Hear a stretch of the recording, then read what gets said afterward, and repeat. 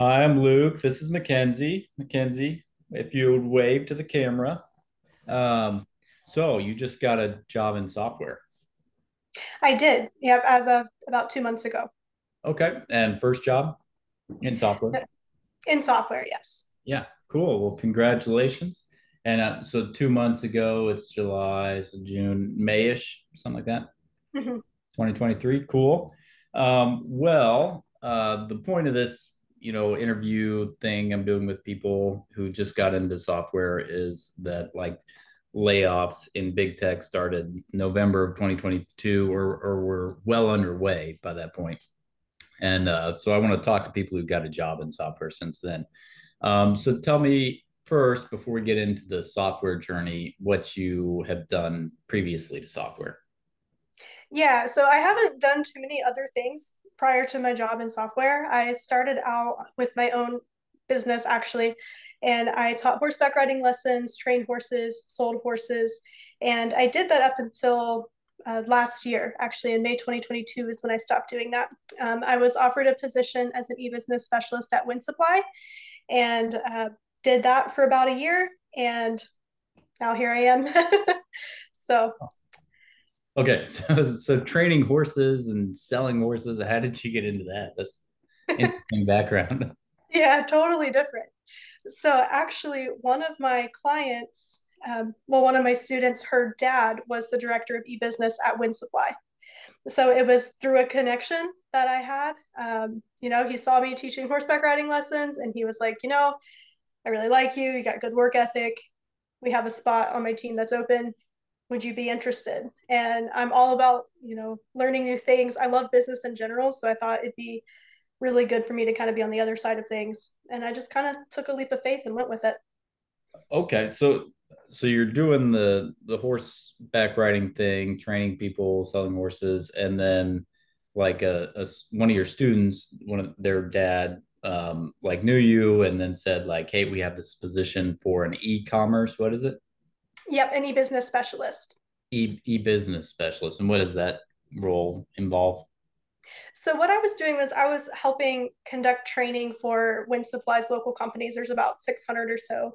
So I was teaching them and their customers how to use the e-commerce platform, showing them, hey, you know, you can buy plumbing supplies online. Here's how you do it, um, and as well as offering technical support, uh, kind of lower level technical support as well. Okay.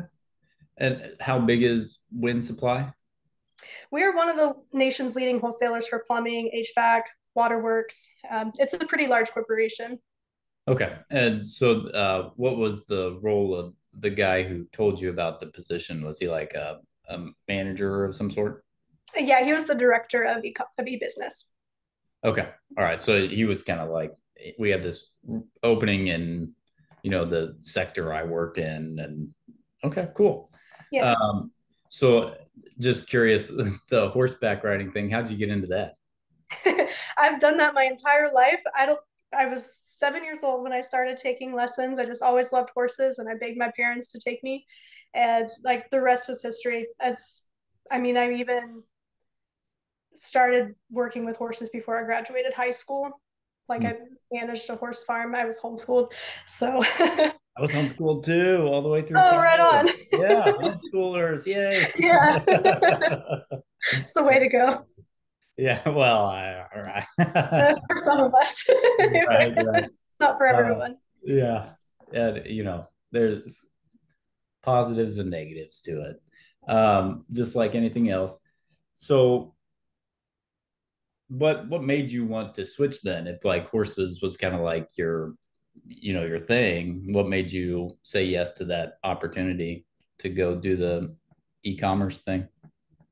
So my business was actually at a pivotal point um, at when I got the offer. I was pretty close to like making a really large decision and you know talking with investors about to make this huge move and then because what i was doing it i either needed to expand what i was doing or shrink what i was doing you know and i wasn't really a fan of kind of pulling back i was full steam ahead but then i got this offer and i'm like well I was at a point I was about to change how my business was structured and change what my business is doing. it'd be a really easy transition. And while I have such a passion for horses and teaching my students, um, I'm also all about knowledge and learning more. And I just had this thought, you know, if I go into the corporate world, I can learn a whole new side of business that I've never been exposed to. You know, I'm a business owner, but I never went to college for any of this. I'm just kind of figuring out as I go. I think it would be really valuable to learn a whole new side of things. So I was at a pivotal point in my career and another door opened and I was like, let's just go through it. there you go. Cool. Yeah. yeah I mean, uh, so you were self-employed with the um, horse training and all, all that stuff. Yep. Gotcha. Gotcha. All right. Well, so then how long were you in that role before um, the idea of software came up? The idea of software came up about three or four months into the job. Uh, I worked very closely with the uh, with our development team, kept trying to solve some of the problems that arose and I got pretty friendly with the developers and I was like, you know what? I kind of want to do what you guys do. mm-hmm. And then they were so supportive. They gave me some resources, some classes to take online. And the more I got into it, the more serious it became. Okay. So like just the developers were telling you like, hey, here's, you know, what you would do to get started. Yeah. And did you have any conversations with people in the company, like management about it? At, that point? I did, yeah. So I worked really closely with the director of the marketing IT team as an e-business specialist. I did, um, and so he was always aware of what I wanted to do, the direction I wanted to go, and so he was able to help guide me and give me the resources I needed. Okay, and so you you'd been in it for a couple months, and you have this conversation. You know, I mean, the idea is growing in your head. Like, I'm I think I want to go do software with these other people over here, same company. Um, and you know, the developers are telling you this is how you get started, and you tell your manager, I think I want to, you know, pursue this as an opportunity. And and I'm sorry, what did you say that your manager said at that point? So I was, my manager was always super supportive and allowing me to learn what I needed to learn. And then I was also talking with the manager of the other team because I worked very okay. closely. Uh, and he helped get me set up with some resources. He's the one who introduced me to the boot camp that I'm currently enrolled in. Okay. Okay. And so um, when when did that conversation happen? So that would have happened. Well, I enrolled in the boot camp in October. It started in November. So that conversation was probably happening maybe August, September.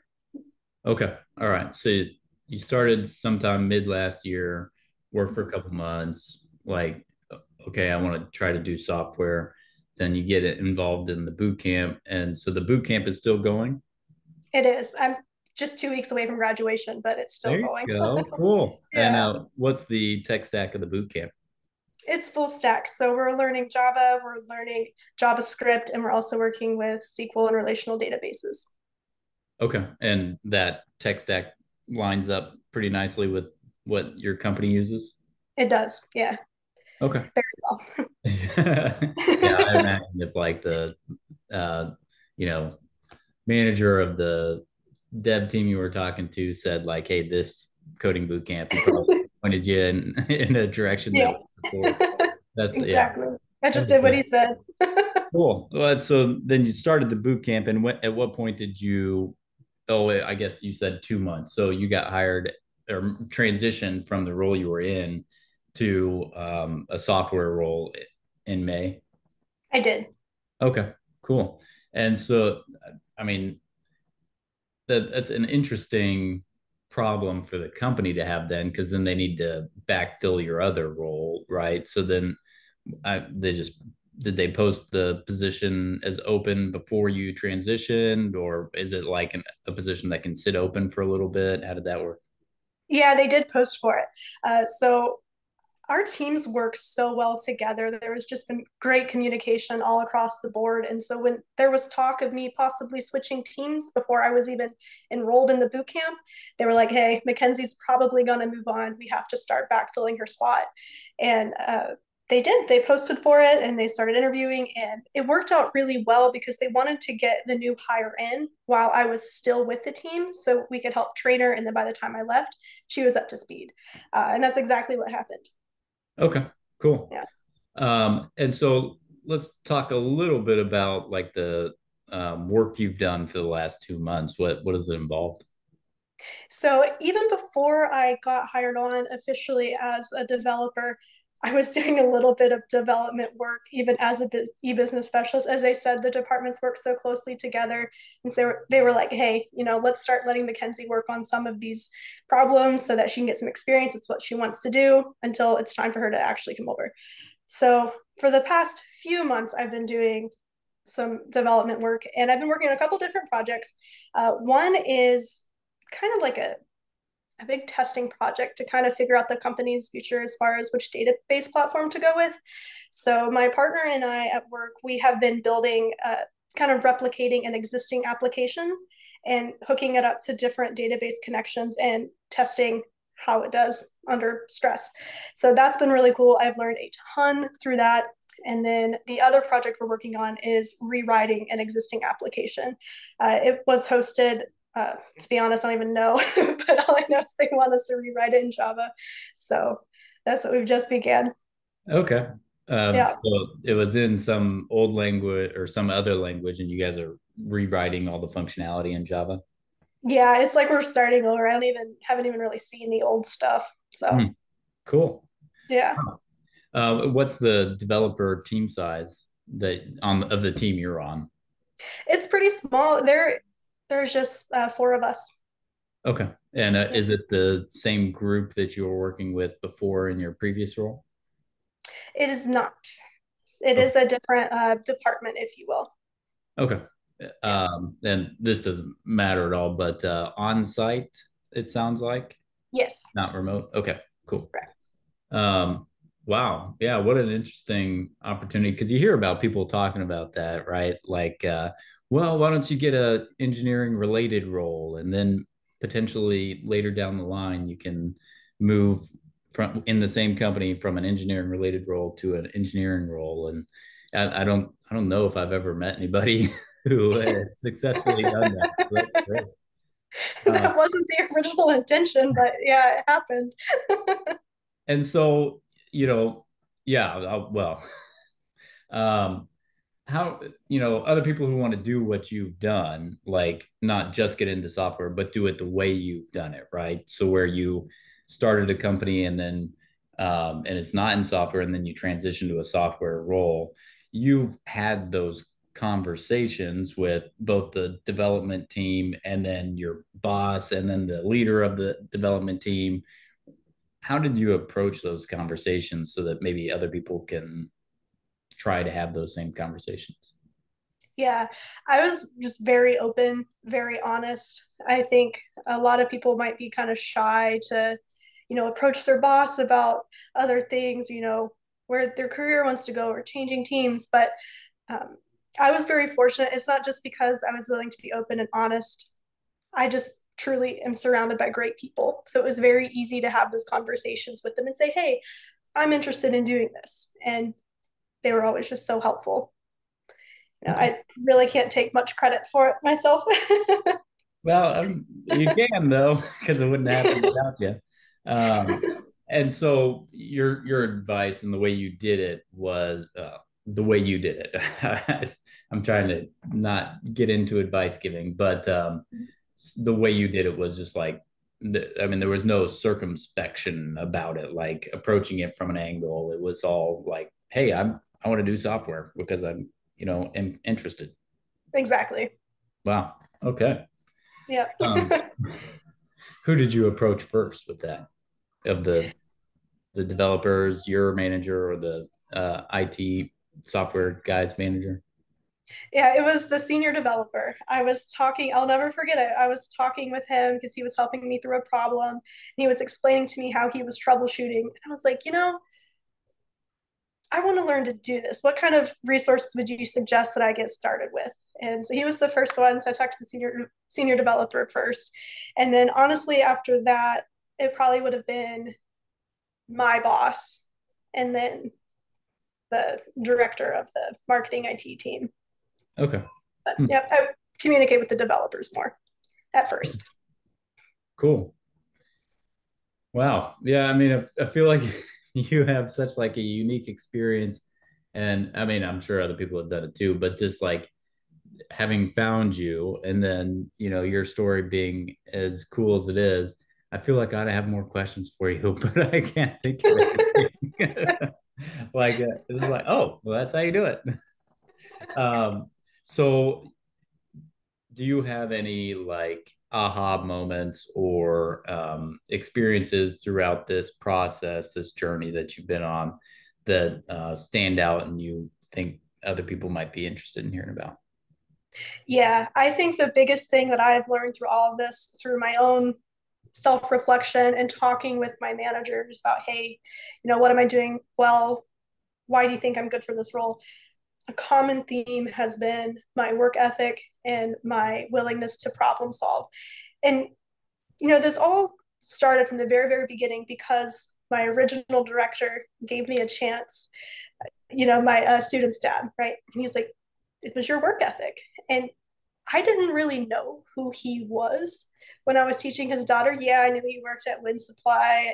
He's he's a great guy, but we never really talked about work that much, his work, because he's just there to let his daughter have riding lessons. I had no idea he would ever be in a position to hire me. But my, my point is, I feel like the fact that I held myself always to such high standards, I was always putting in excellent work no matter what I was doing, always working hard. You never know who was watching and who will recognize that. So just always give 100% and, you know, be the best you can be. Mm-hmm. Yeah, I think attitude is um, so underrated when it comes to like people giving advice on like how do you get into this industry. Like the reason I got my first job was because I looked hungry, like I really really wanted it, and somebody gave me a chance. And uh, exactly. you know, I, he he did not hire me because I went that firm. He did not hire me because he thought I would make him money. He did not hire me because he thought I was going to solve any of his problems. It was just him giving me a chance. And uh, yeah, so I, I can relate there as well. That's yeah. Cool. Yeah. Um, so, uh, I mean, what, what do you, it was at the, uh, you know, your job, the first one, the horseback riding lessons and stuff like that, where he, you know, got the impression you were a hard worker. What, I mean, what do you, what do you, that's uh, probably hard to wrap up in like, well, this is what I did. Um, but why do you think he got that impression? Like, what was it that you were doing? Yeah. Uh, besides the long hours, he knows I worked long hours. It was the amount of care I put into everything I did. You know, I held his daughter to high standards when she was riding. You know, I'd make sure she did everything just right, but always with care and empathy. I wasn't just like, you know, yelling at kids to be perfect all day, right? It was just kind of a, we're called to excellence. So let's act in excellence. And so I think that's kind of where it came from. You know, I was always trying to help his daughter and all of my students improve their horsemanship, make sure they understood why we were doing what we were doing, help them have fun. Um, I think it was just the all around as you said, attitude that I had about my job. I think mm-hmm. he could mm-hmm. just see that. Yeah. And then uh, in order for, you know, those previous or the subsequent conversations, you know, uh, about software once you were in the role um, to go the way they did, you know, those people must have seen the same thing. Amen. Amen. Well, cool uh, McKenzie, I can't thank you enough for being willing to share your story. Um, yeah, it, it's a good one. Yes, I never would have seen myself here, you know, about a year and a half ago. It's crazy. yeah. Well, congratulations on thank getting you. that role and uh, congratulations on finishing your boot camp here pretty soon. Thank you. Yeah, I'm so excited. All right. Bye. Thank you.